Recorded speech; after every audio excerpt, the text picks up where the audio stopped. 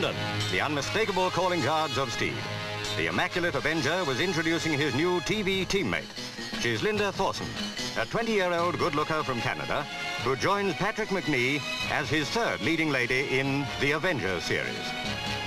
And there's plenty to celebrate, for the show is a hit everywhere, especially in America, where it's a big dollar earner for Britain.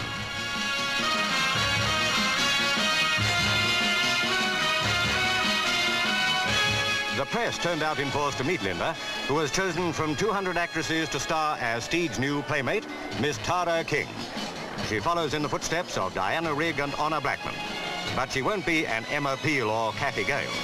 Tara will foil the bad men with femininity. She's got plenty of that. Tyneside,